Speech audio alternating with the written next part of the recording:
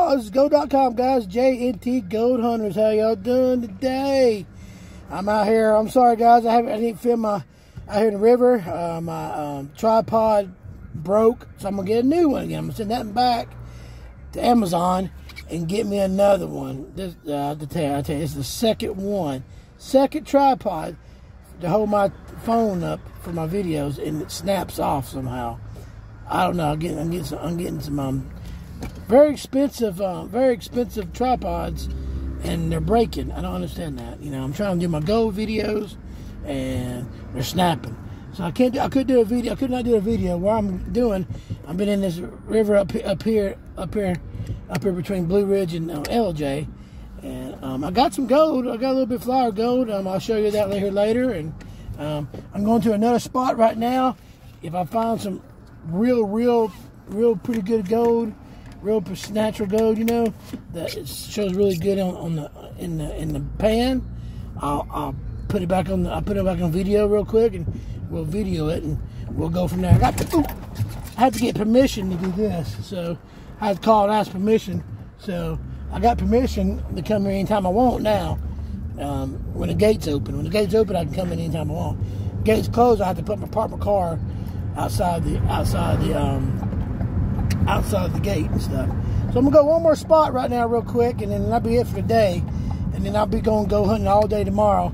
I'm gonna figure a way how to set my phone up somehow, without my tripod. I'm gonna try to figure it out somehow, some way. We'll figure it out here in a few. Um, so I'm going to another spot right here real quick and check it out. I'm doing some test pans and see where, where a good spot to be at when I'm you know, if I, don't have I don't have the money or time to go to the gas station, I saw a sandbar there. Sorry, saw a sandbar down there. Wait a minute, that's a sandbar. I should went up. I have to go back up that way again. I have to walk up that way. I'm going to have to walk up in there and, and um, check it out.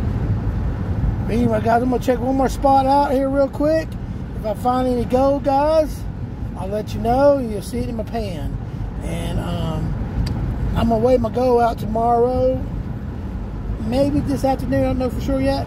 I'm gonna wait what goat I have and let show y'all the goat I got so far. And because I know I haven't showed y'all that much goat because my phone and my camera is all kind of screwy. So I have to. I got. I got to figure a way to um, fix it really good for y'all, so y'all can see the goat when I capture the goat in my pan. Really good. I'm. I'm still learning. Still trying to figure this out.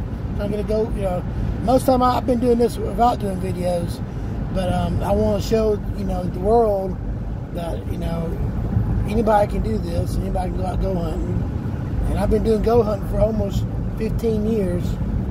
15 years goat hunting, and and you know in Georgia, in Georgia, I haven't been outside. I mean, I've been in Tennessee. I did a little bit of Tennessee this while back, and um, they got a video on that. If you want to see it, it's on there. And hit the subscribe button, hit the likes, and likes, comments, and shares.